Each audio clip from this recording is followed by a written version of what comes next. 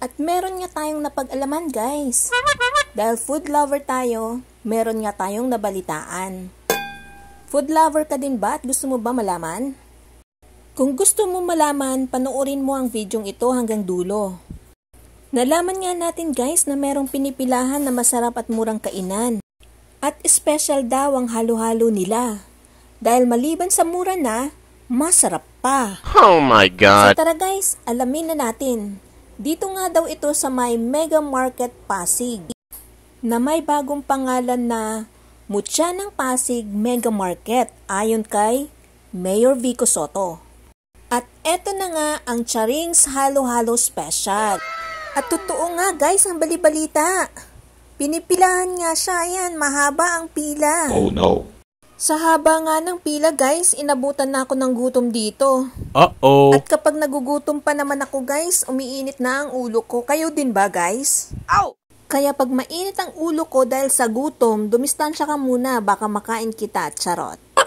Lollipop lang ang katapat niyan guys. Kapag nagugutom tayo guys, kumain lang tayo ng candy, pangpalipas gutom. Oh yeah. Tinitingnan ko nga ang mga kumakain, baka sakaling mawala ang gutom ko.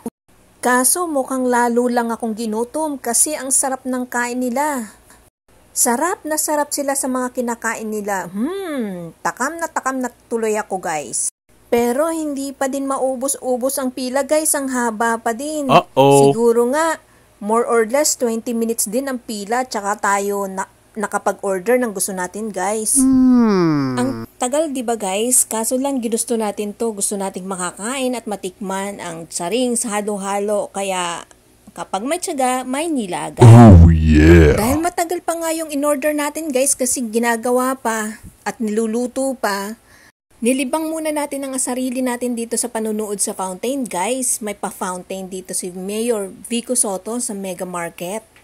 Maliban sa fountain guys, may entertain kayo ng isang PWD na magaling kumanta dyan guys. Bulag siya pero ang galing niyang kumanta.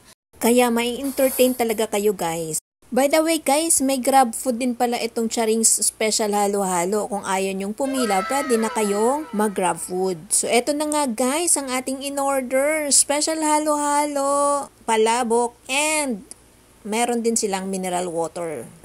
At eto na nga guys, matitikman na natin ang kanilang special halo-halo. Syempre, ito yung uunahin natin kakainin, di ba guys? So ayan no, ang daming laman, ang daming halo. An- kaya nga halo-halo eh. Ang sarap niya guys.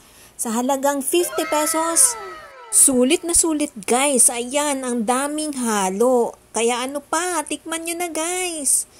Eto naman, ngayon, titikman naman natin yung palabok. O, di ba? Ang sarap ng palabok nila, guys. 60 pesos lang yung palabok nila. Sulit na sulit. Tama nga ang balita, guys. Kaya ano pang inaantay nyo? Tikman nyo na din ang Charing Special Halo-Halo. Hanggang dito na lang, guys.